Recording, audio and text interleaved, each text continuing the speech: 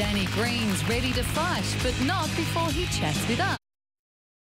I'm World boxing champ Danny Green's fighting fit ahead of tonight's big bout in Perth. Green's trainer reckons he's regained the speed that allowed him to defeat Roy Jones Jr. in 2009, but the champ hasn't ruled out retirement after he takes on American Danny Santiago. Well, he's lean, he's mean, he's Danny Green, and he is with us now. Danny, this is unheard of, interviewing a, a, boxer so close to a fight. Thank you so much for your time.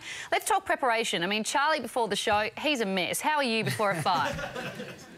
Uh, look, I can do this because I'm relaxed, I'm calm, and, and, you know the training camp's been fantastic, and I'm, I'm ready to roll. So we try and do things to keep my mind off of what's going to happen in a couple of hours because I've been thinking about it for seven or eight weeks. So at what stage, Danny, does the mean green fighting machine actually kick in?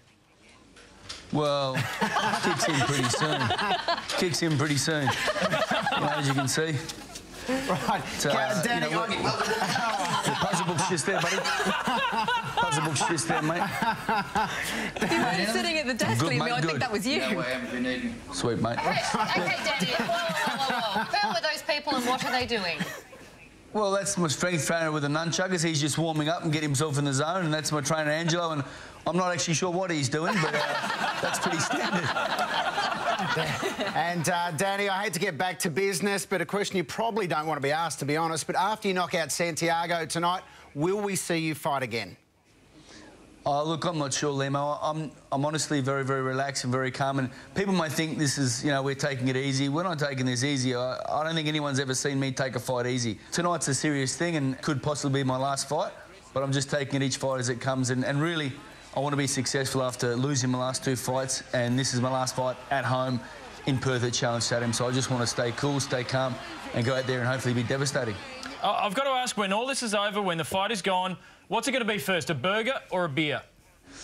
as crazy as it sounds, I'll, I'll, I'll tuck into, a, into one of my Redback protein shakes because I've been able to keep in this condition physically because I look after my body. So hopefully I'm, I'm, successful. I can do the job tonight and win and do Australia proud.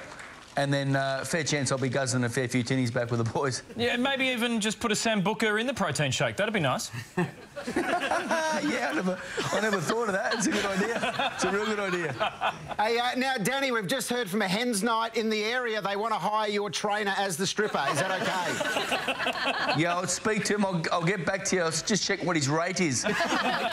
but right, seeing Danny. the condition he's in, his age, he's probably going to be a bit, bit, bit discounted, but I'll, I'll still well, Danny, all the best tonight, and we'll uh, chat to you very soon. Thank you very much for your support, guys. Yeah, Absolutely.